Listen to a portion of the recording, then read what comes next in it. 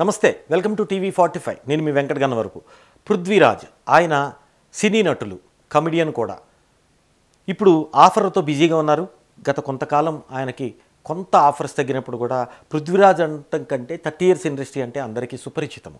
ఈ నేపథ్యంలో ఆయన వైసీపీ సానుభూతిపరుడుగా ఉన్నారు గత కొంతకాలం. రెండు వేల పంతొమ్మిది ఆ టైంలో. ఆ తర్వాత కొంతకాలం పార్టీ గెలిచి అధికారంలోకి వచ్చిన తర్వాత ఎస్వీబీసీ చైర్మన్ ఇచ్చారు. ఆ తర్వాత ఏదో ఫోన్ కాల్ వివాదము అది వైరల్ అవ్వటము ఆయన ఆ పదవికి రాజీనామా చేయటం. ఎస్వీబీసీ చైర్మన్గా ఆ తర్వాత కొంత వైసీపీకి ఈయనకి. ముఖ్యంగా వైసీపీకి అంటకంటే జగన్కి పృథ్వీరాజ్కి గ్యాప్ వచ్చిందని చెప్పొచ్చు. ఆ తర్వాత ఆయన జనసేన పార్టీలో చేరారు. జనసేన సానుభూతిపరుడుగా ఉన్నాడు. ఈ నేపథ్యంలోనే పవన్ కళ్యాణ్ మీద రోజా హాట్ కామెంట్స్ చేశారు. దమ్ము ధైర్యం ఉందా పవన్ కళ్యాణ్కి అని. సో ఇవి హా వైరల్ అయ్యాయి. దీని మీద పృథ్వీరాజ్ మాట్లాడుతూ దమ్ము ధైర్యం గురించి వైసీపీ వాళ్ళు మాట్లాడాల్సిన అవసరమేముంది? మనం ఏమన్నా కబడ్డీ ఆడుతున్నామా? ఆటలు ఆడుతుంటే దమ్ము ధైర్యం కావాలి. మా దమ్ము మాకుంటుంది మీ దమ్ము మీరు చూపించండి. అంతేగాని దమ్ము ధైర్యం గురించి కెపాసిటీస్ గురించి మాట్లాడాల్సిన అవసరం లేదు.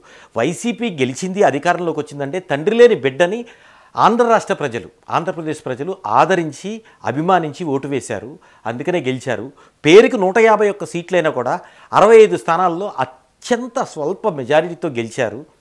అంతేకాని ఇప్పుడు మీరు దమ్ముధైర్యాలు మాట్లాడకూడదు. బూతుల రాజకీయాలు బూతు మాటలు మాట్లాడాల్సిన అవసరం ఏంటని ఆయన ప్రశ్నించారు.